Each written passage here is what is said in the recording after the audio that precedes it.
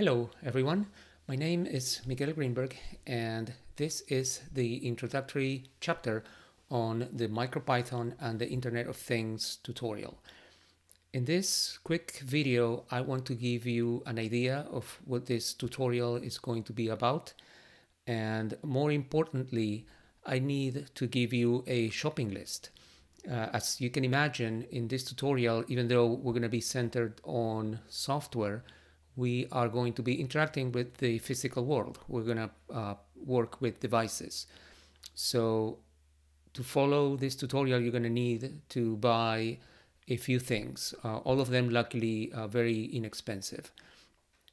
So I'm going to start by showing you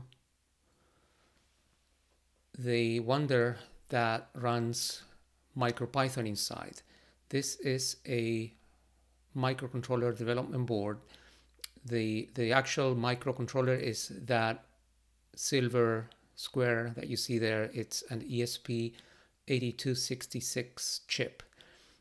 Now this is called a development board because it comes uh, assembled in, in this nice board and includes the USB connector here that is used for powering the device and also to program it.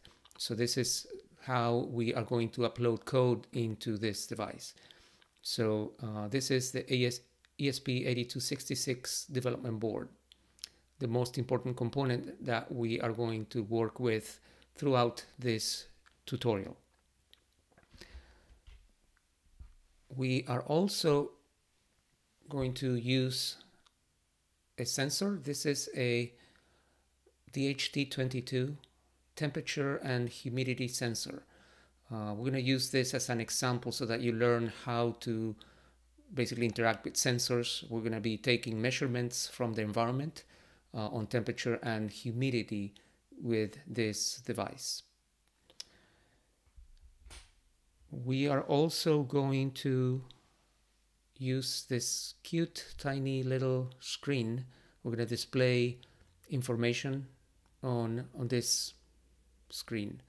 So this, this is, you, you can see that it, it's really tiny. It's actually 128 pixels by, it's 128 wide by 64 uh, high. So very small screen. Uh, this is going to be a beginner tutorial. Uh, so the only requirement that you need is to be familiar at, at a very basic level with Python programming, standard Python programming. So uh, I'm not going to include, uh, for example, soldering. We're not going to do any soldering uh, with, with these components.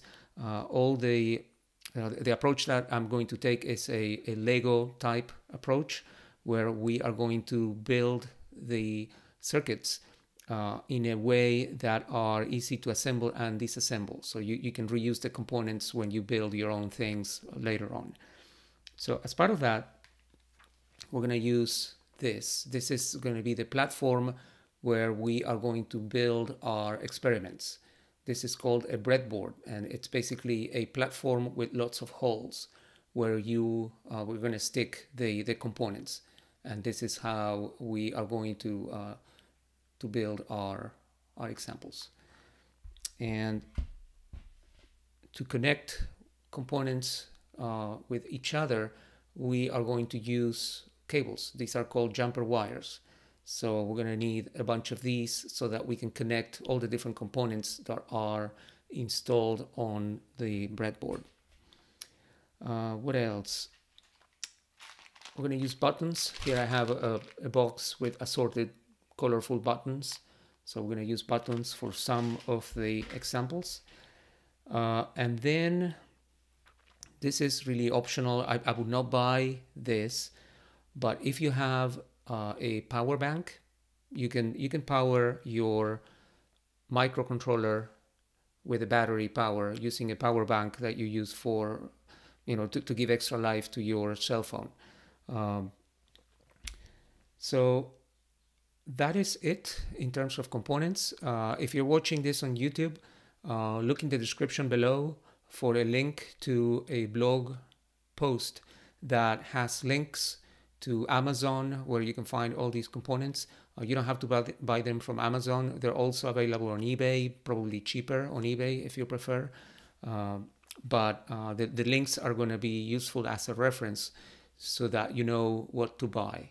I encourage you to look at the, uh, the, the links to all these components so that you can get ready to begin the tutorial and and then I hope to see you on the next chapter when we are going to start doing fun stuff.